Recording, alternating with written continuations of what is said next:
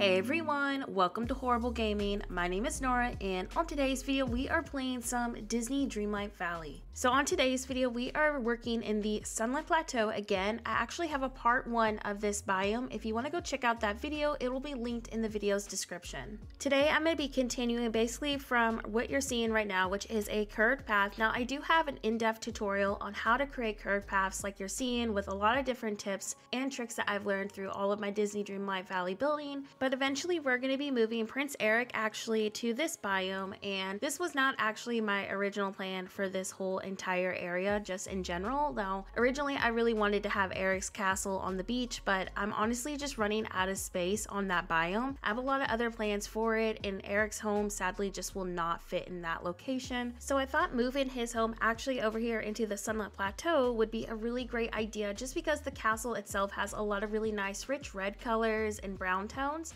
I was trying to go for a really nice overgrown castle sort of vibe tucked into the jungle and that is what today's video is going to consist of. Now during this video I did run out of a ton of materials in the path. Now the path that I'm using today uses so much clay it's ridiculous. So I ran out of that and I couldn't continue from what we finished on today's video. So expect a part 3 coming, maybe even a part 4 or a part 5. I'm honestly not even sure. Like I am still very early in the decorating process on this new save. If you're new here, I had to actually restart, I think about three times now. So I still have a lot of item grinding to do and quests to also just finish up. So I'm not sure when these next parts are going to be coming to my channel, but just know they are going to be coming in the future. So while I gather resources needed to finish up the Sunlit Plateau, we'll probably be focusing on some other biomes in the meantime for Disney Dreamlight Valley. Anyways, just like in the first video of this biome, we are going to be making use of Nala's Waterfall quite a bit throughout the build process. And I love this item because it kind of acts like terraforming in a way to add a lot more dimension, kind of just like what we would see in the jungle. But of course, we're going to be reversing it and rotating it as needed just so it doesn't look really repetitive. And that's what I'm using to really fill up this area and just through the whole jungle in general. When we also rotate this item, it adds a lot more texture and dimension just to the biome since we don't have any way to terraform. This kind of gives the illusion that we are really tucked into a jungle. So make sure if you are following this tutorial to have plenty of the waterfall items in your inventory. I think I already have used about 20 of them so far. It's super helpful to be stocked up on items like this that really fill up a lot of space because then we're technically using less items and that means less things counting towards the item limit. So now that I have all that greenery filled in, it's time to start on Eric's castle and I'm going to be using the Dazzle Beach path over here. I wanted to add something a little bit more vibrant that kind of looked elegant too in a way. And then I'm going to be framing this in with rocks and different types of greenery. I'm using the Mickey fountain kind of just as a guide for the dimensions. This is not actually going to be staying, but you can definitely use that fountain if that's all you have. I'm actually going to be using the Beauty and the Beast fountain for this location. Next, I'm going to be using the same rocks that we've been using throughout the plateau. If you don't have space for this because of the item limit, you can totally skip it and just frame with maybe bushes. Just like I say on all my Disney Dreamlight videos, I do a lot of like decoration ideas. Most of these don't stay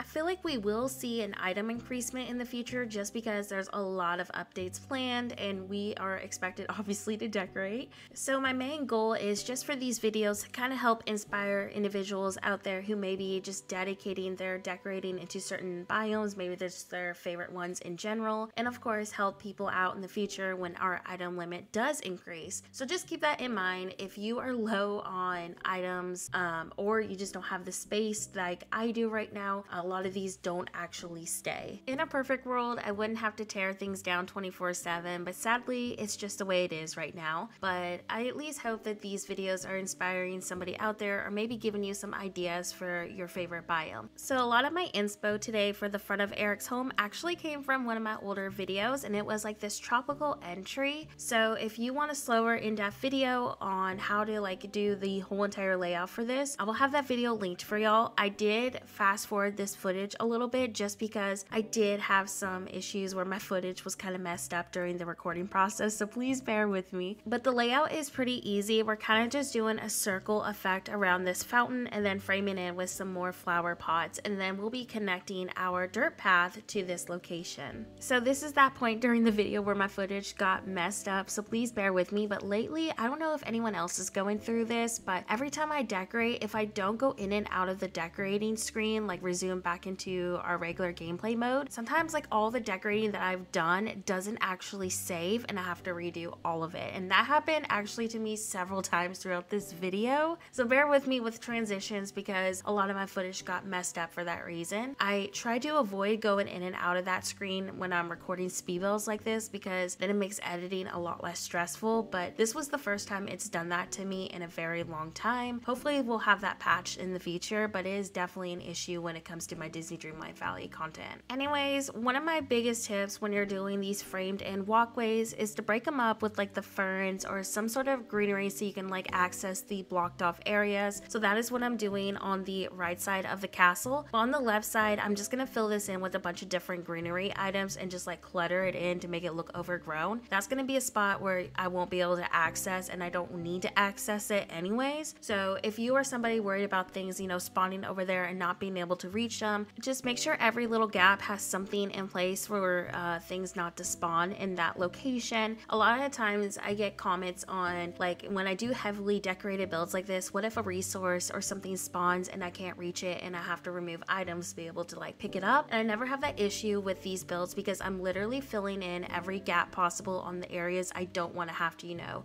to remove items to reach something. So just keep that in mind. If you are trying to block off certain areas, make sure every little spot is decorated. I always leave also in each biome that I decorate in like little empty areas just for resources to spawn naturally in. Like on the other side of the pond by Nala in Simba's home, that spot is like literally empty and I'm leaving it alone so I can have things spawn over there. And it has been very successful for that. So just leave a little area on each biome if you're doing something that's heavily decorated like we're doing today so you can be able to access all those, you know, resources. So around this time of the video, that's when I started running out of resources to build with. But over here, I placed WALL-E's garden and this is actually where WALL-E's home is gonna be. So we're gonna have his garden kind of act as a transition for the castle. I was kind of thinking of this location being like a nursery or research center for WALL-E. So hopefully by part three for the Sunlit Plateau, I'll have everything I need to do WALL-E's little spot. But I thought it was a great way to kind of just find a home for WALL-E since the house that he has is really difficult to work with. And I thought that it would kind of suit the vibe that I'm going for in the Sunlit Plateau and it works as a great filler. So that's my plan for WALL-E's uh, truck. And after that, I have no idea what my plan is for the rest of the Sunlit Plateau. I think I'm just gonna do maybe some sitting areas. I don't wanna do too much in this biome just because I am planning to decorate the Forest of Valor next. So I think next Disney Dreamlight video, I'll finally be starting my new revamp of the Forest of Valor. But of course, if there's any other biomes y'all are struggling with or need ideas for, let me know in the comments section below. Just like I said earlier in this video, I am constantly tearing things down and flattening to help give y'all ideas for your own valley. So don't be afraid to ask for help or leave an idea on something you would love to see in the future. After some final details, here is how Eric's home ended up turning out and I absolutely love it. I am so excited. It has that overgrown but elegant as well jungle vibe to it that I was hoping for. I hope that today's video brought you some Disney Dreamlight Valley inspiration. Before this video ends, I do want to give a huge thank you to all of my channel members. A huge thank you to Cherry Blossom, Kavi, Z Toxic,